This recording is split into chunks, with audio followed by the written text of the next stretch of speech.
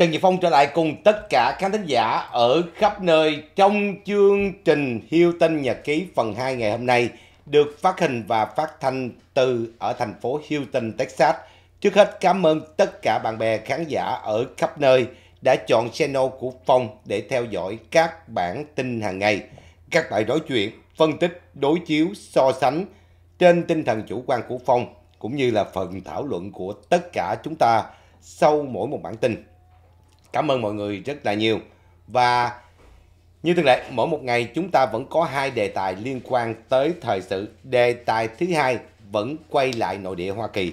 Quý vị, ngày hôm qua thì bản báo cáo mới nhất của ông John Durham cho thấy rằng là FBI đã không có bằng chứng rõ rệt gì liên quan tới việc mà ông à, Nga xen vào cuộc bầu cử của Hoa Kỳ và ông Trump có dính líu tới Nga. Đây là cuộc điều tra lần thứ hai sau khi mà ông John Durham đã được bổ nhiệm bởi Bộ trưởng Tư pháp thời điểm đó là William Barr để điều tra toàn bộ chuyện này, đặc biệt là nhắm vào cái sự lạm dụng của cơ quan FBI.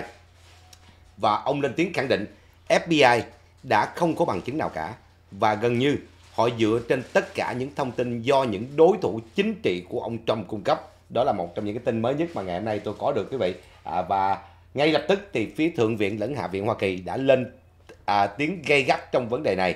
Và việc này như thế nào? Và câu hỏi đặt ra liệu sẽ có một cái cuộc điều tra toàn diện ở Hạ viện hay không? Và ai sẽ chịu trách nhiệm? Và nếu chịu trách nhiệm thì có truy tố và điều tra hay không?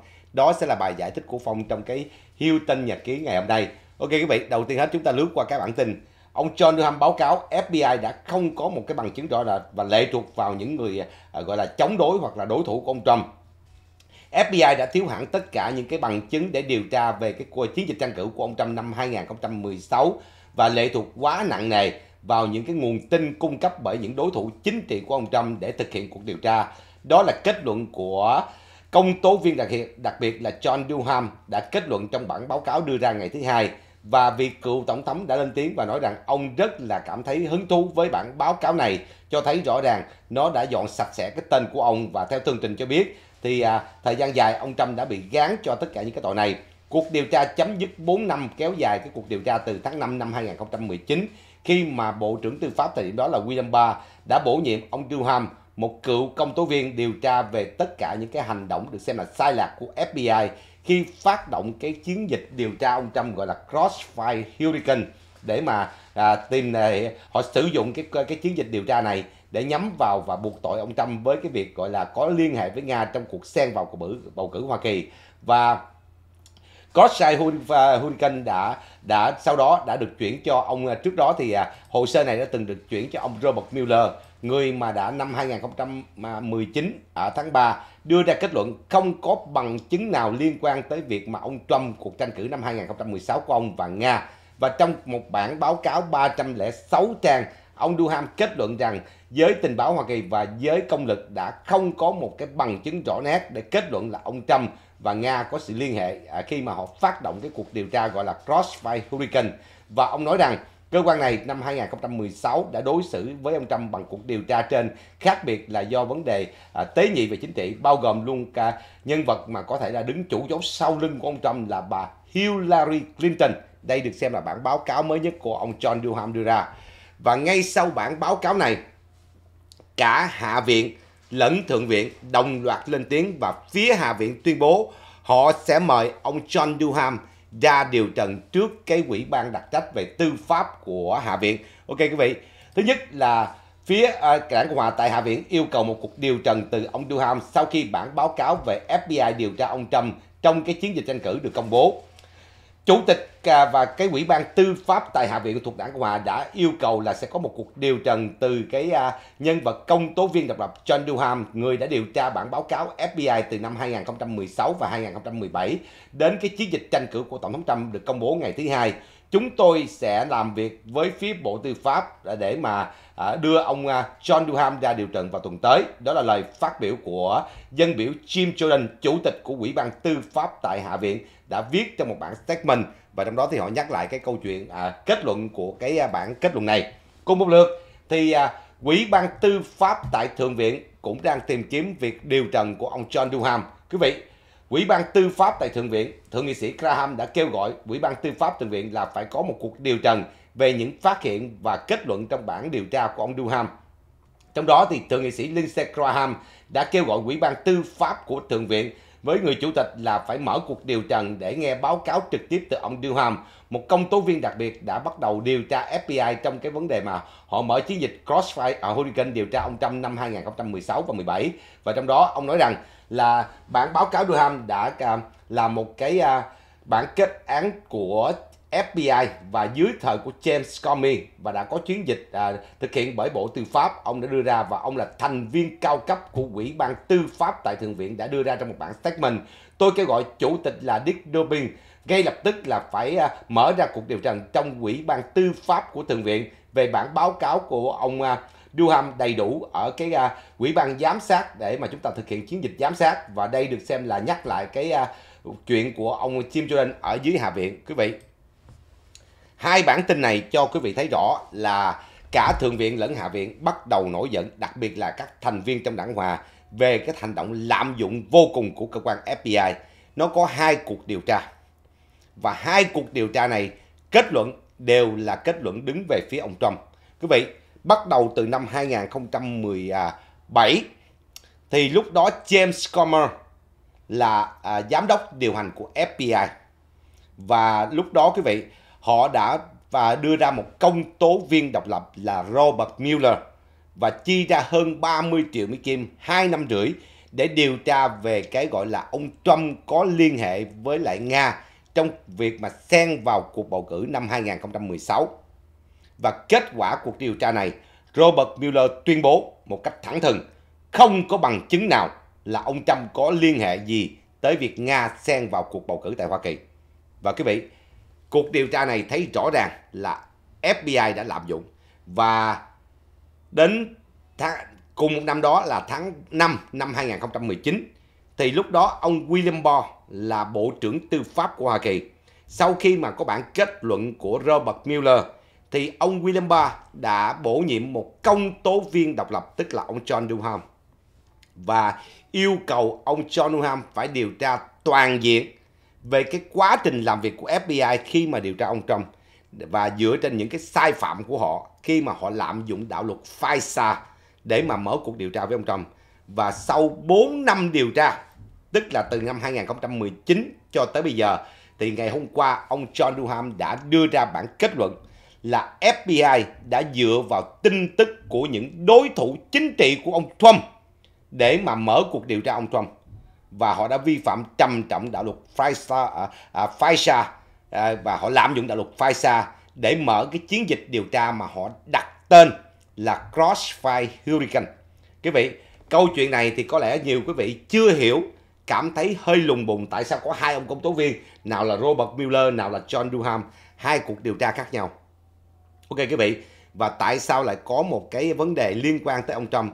Năm 2016, trong chiến dịch tranh cử, bà Hillary Clinton và đảng Dân Chủ đã chi tiền cho một nhân vật, nhân vật gọi là Steel Dollar. Và nhân vật này sinh sống tại Anh. Và nhân vật này là một cựu viên chức tình báo của Hoa Kỳ, sinh sống tại Anh. Và nhân vật này đã đưa tin tức cho phía của cơ quan FBI cho rằng là đã có hành động cấu kết giữa ông Trump và Nga trong việc mà à, gây ảnh hưởng kết quả à, bầu cử và chiến dịch tranh cử ở tại Hoa Kỳ. Và nhân vật này lấy tin từ đâu ra? Quý vị, nhân vật này nhận tiền của Trung ương Đảng Dân Chủ và chiến dịch tranh cử của bà Hillary. Và ông ta nhận được cái thiếp về cái việc mà gọi là Nga xen vào bầu cử và có liên hệ với ông Trump. Ông ta lại nhận được từ một cựu nhân viên của FBI mà người này lại là người có cái thái độ rất là thù ghét ông Trump. Người này đã cố tình đưa cái tin qua cho Steele. Và sau đó thì Steele mới đưa ngược cái tin lại này, lại cho toàn bộ cơ quan FBI. Và ngay lúc đó thì James Comer là giám đốc cơ quan FBI. Và James Comer đã chỉ đạo một lực lượng đặc biệt gọi là à, đặt cái tên của chiến dịch này là Crossfire Hurricane để điều tra về cái chiến dịch tranh cử của ông Trump nhằm tung ra những cái tin và cho rằng là ông Trump đã cấu kết với Nga để mà gây ảnh hưởng trong cái chiến dịch tranh cử và kết quả bầu cử. Tức là họ chụp cho ông Trump một cái mũ phản quốc. Treason. Tức là quý vị, câu chuyện nó rất rõ ràng như vậy. Và cuối cùng thì sau 2 năm rưỡi sau khi mà ông Trump đắc cử trở thành tổng thống thì quý vị bắt đầu điều tra lại cái vụ án này. Cả đảng Dân Chủ lẫn đảng Cộng Hòa vẫn muốn thúc đẩy cuộc điều tra để tìm ra có sự thật chuyện gì xảy ra ở năm 2016. Và sau 2 năm rưỡi điều tra, tức là Robert Mueller từ năm 2017 cho tới năm 2019, đã là một công tố viên độc lập được bổ nhiệm để mà điều tra toàn bộ. Thì kết luận của Robert Mueller hoàn toàn không có chuyện gì dính dáng tới ông Trump hết khi mà Nga xen vào cuộc bầu cử Hoa Kỳ. Thì đó là kết luận của Robert Mueller. Thì lúc đó tất cả mọi người đều bật ngửa. Kể cả ông Trump. Kết luận này, ông Trump mà họ chi ra 30 triệu, 2 năm rưỡi trời để mà điều tra. Cuối cùng kết luận của Robert Mueller gây bất ngờ cho đảng Dân Chủ và thất vọng cho đảng Dân Chủ. Chưa hết quý vị, ngay lúc đó ông Trump không muốn rằng là đám dân chủ có thể gọi là phủi tay ông không muốn đám dân chủ phủi tay khi mà lạm dụng cái cơ quan FBI và Bộ Tư pháp để mở chiến dịch tấn công ổng một cách gọi là trắng trợn như vậy. Thì quý vị, ông William Barr, tức là lúc đó là Bộ trưởng Tư pháp dưới quyền của ông Trump, đã chọn một công tố viên đặc biệt. Tức là ông này là từng là cựu công tố viên. Ông này là tên là John Durham để mở lại toàn bộ cái hồ sơ của FBI. Làm cách nào họ mở ra một cái chiến dịch điều tra và đặt tên chiến dịch điều tra đó là Crossfire Hurricane. Họ dựa trên nguồn tin nào và nguồn tin đó từ đâu và xác nhận nhân vật mà đưa nguồn tin đó cho FBI là từ đâu ra và họ mới, trong 4 năm điều tra, thì ông John Durham đã kết luận tất cả cuộc điều tra của FBI thời điểm đó đều dựa trên những tin tức do phía đối thủ chính trị của ông Trump đưa ra. Tức là Hillary Clinton và toàn bộ bộ sẩu của Trung ương Đảng Dân Chủ. Có nghĩa là họ tung ra và họ sử dụng cơ quan điều tra liên bang để mở cuộc điều tra với ông Trump. Quý vị, hành động này gây tổn thương rất nhiều cho cuộc tranh cử của ông Trump năm 2016. Mặc dù ông thắng, nhưng mà nó làm cho cái tên tuổi của ông bị bôi nhọ rất là nhiều. Và sự lạm quyền của James Comer trong giai đoạn đó. Người ta đã thấy rất rõ ràng bởi vì lúc đó James Comer là giám đốc cơ quan tình báo FBI và chính James Comer là người ký giấy thành lập một cái toán điều tra đặc biệt. Tất cả mọi việc đã được phanh phui. Như vậy thì quý vị, kết luận của cả hai công tố viên độc lập. Thứ nhất là ông à, Robert Mueller đã khẳng định sự trong sạch của ông Trump. Thứ hai là cuộc điều tra của John Durham cho thấy FBI đã lạm dụng quyền lực để tấn công ông Trump với một mục tiêu. Với một mục tiêu là bằng mọi cách triệt hạ ông Trump. Quý vị, chưa đâu. Chưa đâu. Cuộc điều trần tuần trước, quý vị còn nhớ, cựu giám đốc điều hành cơ quan FBI là ông Morrow đã lên tiếng thú nhận. Chính Anthony Blinken, hiện nay là ngoại trưởng, trước đó là người đã phụ trách trong cái chiến dịch tranh cử của Joe Biden, đã thúc đẩy ông ta viết một lá thư và nối kết với các cựu viên chức tình báo và những nhân viên tình báo nằm ở trong cơ quan tình báo CIA. Viết một lá thư với 51 chữ ký của các cựu nhân viên tình báo và viên chức tình báo, tung ra cái tin cho rằng là cái laptop của Hunter Biden. Cái laptop của Hunter Biden là câu chuyện do Nga theo dệt lên. Khiến cho lúc đó tất cả mạng xã hội và các cơ quan truyền thông không ai đăng được cái bản tin này hết. Ngoại trừ tờ New York Post. Là tờ báo đã đăng toàn bộ cái tin này. Thì bây giờ chính ông Moron ông lên tiếng, ông khai trước quốc hội. Người thúc giục ổng lúc đó là Anthony Blinken.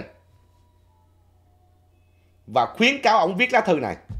Và lá thư này với 51 nhân vật vừa là cựu nhân viên tình báo, vừa là cựu giám đốc của tình báo, vừa là nhân viên đương thời của tình báo. Thì quý vị, lá thư này được công bố vào tháng 10 năm 2020. Và vì lá thư này mà Joe Biden thắng cử. Nếu như lúc đó không có lá thư của những nhân vật của cơ quan tình báo thì cái câu chuyện laptop Hunter Biden được phổ biến rộng rãi ra. Thì quý vị, lúc đó chưa chắc Joe Biden đã thắng cử. Nhưng nhờ cái việc này mà giúp cho Joe Biden đã thắng cử. Thì quý vị, rõ ràng là có sự lạm dụng của cơ quan tình báo CIA, cơ quan FBI. Chưa hết quý vị, ngày hôm nay tôi còn một bản tin nữa. Mà bản tin này tôi nói thiệt với quý vị là tôi đọc tôi cũng cảm thấy sốc vô cùng. Ok, quý vị, sở thuế gần như là đã sa thải những người là whistleblower điều tra về cái việc trốn thuế của Hunter Biden. Đây là câu chuyện mà chúng ta thấy được ở trên cái à, à, tin mới nhất ngày hôm nay là IRS đã cho sa thải cái toán điều tra về Hunter Biden. Cơ quan IRS đã cho xóa bỏ cái vai trò điều tra của một toán điều tra nhắm vào cái việc mà Joe, uh, Hunter Biden đã trốn thuế theo tường trình của tờ Washington Examiner. Tờ này dựa trên nguồn tin uh, trong một lá thư đã được viết bởi hai luật sư đại diện cho phía của các nhân viên của sở thuế đã báo cáo. Ngày hôm nay thì uh, sở thuế IRS và cái uh, cục đặc trách về uh, điều tra những cái nghi ngờ liên quan tới tội ác đã báo cáo báo cho biết là ông ta à, là cái người thân chủ của ông này là tức là đã bị và cái toán làm việc điều tra về cái à, những cái um, hồ sơ của Hunter Biden đã bị uh, ngưng lại và không được phép điều tra tiếp. Và trong đó gần như là đã gây ra mở ra một cái sự tranh cãi à, khi mà có những cái whistleblower công bố và báo cáo cho quốc hội theo tường trình luật sư Tristan Levick và Mark Lytle đã viết trong lá thư gửi cho quốc hội. Và trong lá thư này thì họ nói rằng là cái lệnh mà ngưng lại cuộc điều tra này nguyên thủy đến từ Bộ Tư pháp, tức là dưới quyền của ông Merrick Garland. Trong đó nói rằng là họ khẳng định đây là một cái hành động trả đũa rất rõ ràng và gần như là bất kỳ một viên chức chính phủ nào mà đối phó với lại việc của các nhân viên khi mà họ có những cái uh, tin tức báo cho quốc hội đều vi phạm trầm trọng vào cái luật của quốc hội dựa trên cái đạo luật là uh, cái đạo luật này quý vị là chương 18 đó quý vị, về cái đạo luật. Và trong đó là có cái hành động cản trở quyền điều tra của quốc hội. Các luật sư của nhân vật whistleblower nằm trong sở thuế đã cho biết như trên. Và quý vị, nhìn vào bản tin này, chúng ta thấy rất rõ ràng là các cơ quan trong chính quyền liên bang đã bị chính trị hóa và hầu hết những nhân viên và những thành phần lãnh đạo, nó đã được bổ nhiệm từ lâu và họ đều là những thành phần được xem là sử dụng các cái cơ quan của liên bang để mà dùng làm vũ khí tấn công người khác hay cản trở những cuộc điều tra cho phe của mình. Quý vị thấy CIA và FBI đã tung ra cái nỗ lực năm 2020 để mà làm cho ông Trump thất cử. Quý vị thấy rất rõ ràng. Và mới đây nhất là tới phiên sở thuế. Những viên chức cao cấp của sở thuế ra lệnh ngưng lại cuộc điều tra hồ sơ mà Hunter Biden trốn thuế mà cái lệnh này đã được đưa ra nguyên thủy từ Bộ Tư pháp. Quý vị, Bộ Tư pháp đứng riêng biệt và Sở Thuế đứng riêng biệt. Đó là những cơ quan độc lập trong chính quyền liên bang. Nhưng tại sao cái lệnh này lại được đưa ra nguyên thủy từ Bộ Tư pháp vậy? Bộ Tư pháp Sở Thuế đâu có quyền gì với nhau. Họ chỉ có dính líu khi mà có những cái hành động liên quan tới gian lận thuế hoặc là liên quan tới vấn đề trốn thuế thì quý vị nó sẽ có sự hợp tác của hai cơ quan sở thuế và bộ tư pháp. Bây giờ bộ tư pháp ra lệnh ngưng điều tra thì ngay lập tức với lãnh đạo của sở thuế bây giờ là bắt đầu giải tán tất cả các toán điều tra nhắm vào Hunter Biden. Câu chuyện này cho quý vị thấy cái gì? Câu chuyện này cho quý vị thấy với lãnh đạo cao tầng của cơ quan FBI, CIA và kể cả sở thuế là những nhân vật chính trị họ sử dụng cương vị chính trị của họ gây ảnh hưởng cho đảng phái và có hành động bao che hoặc là tấn công và trả đũa đối với những đối thủ chính trị của của họ quý vị. Đây rất rõ ràng. Hành động của FBI và hành động của CIA, xin lỗi quý vị, hành động FBI rõ ràng tấn công vào đối thủ chính trị mà người đứng đầu trong cái việc này là James Comer, người đã được bổ nhiệm dưới thời của Obama. Và bao che cho những cái trò tham nhũng trong gia đình của Joe Biden là cơ quan là những viên chức cựu viên chức của cơ quan tình báo CIA trong đó có ba bốn người từng là giám đốc cơ quan tình báo CIA Rồi bây giờ tới phiên giới lãnh đạo cao tầng của sở thuế cũng muốn bao che cho Hunter Biden và tình trạng tham nhũng trong gia đình của Joe Biden. Quý vị, do đó tại sao mà đảng Cộng hòa thúc đẩy một cái tiểu quỹ ban chống lại vũ khí hóa trong các cơ quan chính quyền liên bang? Tại vì nếu mà nói về chuyện này có thể tôi phải giải thích đằng sau hậu trường. Tại Washington DC, những nhân vật gọi là hỗ trợ đảng phái, họ sống rất là nhiều xung quanh Washington DC và họ nằm trong các công ty, các cái tổ chức vận động hành lang tức là lobbyist. Họ sống bằng nghề lobbyist quý vị. Và khi mà đảng thân cận với họ, cầm quyền đó, thì họ lại được đảng chọn bổ nhiệm vào những cái vị trí quan trọng trong chính quyền liên bang. Và họ chầu trực ở DC để có những cái chớp thơm này. Thì quý vị, tình trạng này không phải mới xảy ra, mà nó kéo dài từ thời của Bill Clinton. Tức là lúc mà Bill Clinton lên làm tổng thống năm 1993, thì những cái công ty lobby và kể cả những nhân vật gọi là cơ hội này nó sống đầy đủ ở Washington DC của cả lưỡng đảng luôn chứ không phải riêng gì đảng Dân Chủ. Đảng Cộng Hòa cũng vậy luôn. Nó chỉ cần đảng cầm quyền của mình nắm ghế hành pháp tức là ghế tổng thống là nó có quyền họ được quyền bổ nhiệm vào các vị trí này. Và điều này đã xảy ra dưới thời của ông Trump dưới thời của Obama và dưới thời của Bush con hay là dưới thời của Bill Clinton. Nhưng mà dưới thời của ông Trump chỉ có hai năm đầu. Quý vị, bởi vì ông Trump lúc đó mới đắc cử làm tổng thống, ông không phải là một nhân vật chính trị. Ông không phải là một nhân vật chính trị, ông không biết gì về chính trị cả. Ông không biết khả năng, ông cũng không biết những cái tổ chức lobbyist này cả. Là khi ông đắc cử tổng thống, thì khi mà bổ nhiệm tất cả những thành phần trong nội các của ông, thì ông chờ cái recommend, tức là sự đề nghị từ phía đảng Cộng Hòa. Thì quý vị, đảng Cộng Hòa nó theo cái truyền thống cũ giống như đảng Dân Chủ là nó moi những nhân vật nằm ở DC những kẻ nằm ở trong lobbyist những kẻ nằm ở trong uh, các cái tổ chức uh, vận động hay là những kẻ mà gọi là hỗ trợ cho chiến dịch tranh cử. Thì nó chọn những kẻ này làm nhân vật nằm trong nội các. Do đó tại sao quý vị thấy hai năm đầu của ông Trump ông sa thải toàn bộ? Ông sa thải toàn bộ những nhân vật này. Tại vì ông không biết gì cả. Và do phía của đảng cộng hòa và cái staff bên đảng cộng hòa và trung ương đảng cộng hòa họ recommend. Đến khi ông phát hiện được những kẻ này là những kẻ sống ngành nghề chính trị, chỉ muốn lụm cái chóp thơm thôi. Khi mà đảng đảng của phe mình lên cầm quyền, ông cắt liền tại chỗ. Quý vị nhớ hai năm sau đó, những nhân vật ông chọn rất rõ ràng. Từ Mike Pompeo là bộ trưởng ngoại giao cho tới ông à, Mark Expert là quyền bộ trưởng quốc phòng khi mà Mark Expert làm không xong công việc, ông sa thải luôn. Do đó, trong cái giai đoạn ông Trump cầm quyền sa thải rất là nhiều. Bởi vì ông không chấp nhận những người mà sống bằng nghề chính trị. Sống bằng nghề chính trị và chỉ hưởng cái lương chính trị rồi trong đó là cứ đấu tranh chính trị mà không lo cái công việc chuyên môn của mình. Ngược lại quý vị, từ thời của Bill Clinton cho tới thời Bush, con cho tới thời Obama. Rất nhiều những nhân vật đó được bổ nhiệm nằm trong cái guồng máy của liên bang. Đặc biệt là những cơ quan của chính quyền liên bang. Chức bộ trưởng thì họ chưa vô được đâu, tại vì cái đó cần sự xác nhận của thượng viện. Nhưng mà làm việc trong tính cách là viên chức cao cấp của bộ thì họ không cần sự đồng ý của của thượng viện. Do đó, họ lại là những kẻ gây ảnh hưởng nhiều nhất họ tác động nhiều nhất nhân viên của các cái ngành liên bang từ sở thuế, FBI cho tới CIA. Quý vị, chính điều này nó mới dẫn tới một cái sự cấu kết liên hoàn như vậy. Sự bao che cho chính quyền của Joe Biden và sự bao che cho gia đình của Joe Biden cũng như mở một chiến dịch tấn công tàn khốc nhắm vào cá nhân của ông Trump. Thì quý vị, kể từ khi ông Trump lên làm tổng thống và chấm dứt nhiệm kỳ tổng thống năm 2020. 21 thì đúng hơn, quý vị. Thì dân Mỹ bắt đầu nhìn ra và chính bản thân của ông Trump còn nhìn rõ hơn.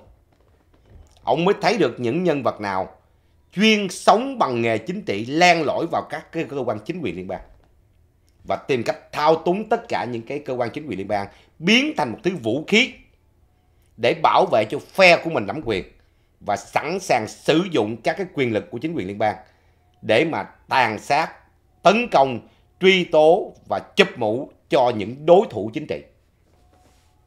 Quý vị, rất rõ ràng. Và ngày hôm nay, bản báo cáo của ngày hôm qua thì đúng hơn, bản báo cáo của John Durham cho thấy tất cả nhân viên FBI đều dựa trên nguồn tin rất nặng nề, tức là heavy luôn đó, là từ những đối thủ chính trị của ông Trump. Cái này là một cái bản kết uh, kết luận của ông một cách lịch sự thôi. Thực tế quý vị, họ lấy tin từ những đối thủ chính trị của ông. Họ xào nấu thành một cái kiểu giống như là sắp sửa có một vụ đại án xảy ra. Thật sự quý vị, họ không phải lệ thuộc mà cái sự cấu kết của họ với các đối thủ chính trị của ông Trump. Chứ không phải là họ chỉ nhận những cái tin từ phía đối thủ của ông Trump rồi để rồi đi điều tra ông. Cái này là cái ngôn ngữ lịch sự của ông John Durham. Ông không muốn nói một cách thực tế là cái đám khốn nạn này nó cấu kết với lại những người à, đối thủ chính trị của ông Trump. Rồi nó lấy, nó sắp đặt tất cả kế hoạch, sắp đặt những cái tin tức, những cái tài liệu để mà nó có thể hợp pháp mở cuộc điều tra với ông Trump. Đó là sự cấu kết rất rõ ràng. Nhưng mà ông John Durham thì ông lịch sự. Ông không muốn gây mất lòng ai cả và đồng thời ông giữ vai trò neutral, tức là trung dung và không có đưa ra một cái, tuyên bố nào gọi là gây tổn thương cho các cái à, à, đảng phái chính trị. Ông nói rằng là ô các cái cuộc điều tra của FBI lệ thuộc quá nhiều vào những cái thiếp, những cái tin từ các đối thủ chính trị của ông Trump. Ông nói lịch sự như vậy thôi. Nhưng ông biết rõ đám đó cấu kết với đối thủ chính trị của ông Trump để tạo ra và dựng lên một cái kịch bản hay là dựng lên những cái à, à, những cái à, simulus à, tức là những cái mô hình đó để bắt đầu họ có cái danh chánh ngôn thuận ở trên cơ quan liên bang họ điều tra ông Trump. Quý vị, đây chính là cái trò thủ đoạn của đảng Dân Chủ và Hillary Clinton là chủ mưu hàng đầu. Trong khi quý vị, chính Hillary Clinton là người associate rất nhiều với phía của Nga, chứ không phải là ông Trump. Bà ta là người đã thúc đẩy và bà ta lúc bà ta còn là ngoại trưởng dưới thời của Obama, bà ta đã ký bán một số những cái chất phóng xạ cho phía của Nga. Và bà ta đã cover up tất cả những cái biến cố xảy ra tại Benghazi, nơi mà có đại sứ Hoa Kỳ đã bị thiệt mạng trong cuộc tấn công bà ta đã che giấu được tất cả và được sự cover tức là sự che đậy và sự gọi là um, bao che của cơ quan FBI và kể cả cơ quan tình báo CIA cho tới giờ phút này quý vị cái vụ án của Hillary Clinton gần như chìm xuồng. Gần như chìm xuồng về những cái email mà bà ta sử dụng ở trong cái server riêng của bà ta. 3.000 cái email biến mất. Nó bị xóa sạch hết quý vị. Nhưng mà vẫn recover được nhưng tại sao tới ngày hôm nay vẫn không có cuộc điều tra vậy? Bởi vì nguyên một cái băng đảng FBI ở cái giới lãnh đạo cao tầng này là thuộc phe cánh đó. Họ đè lại hết. Họ đè lại hết.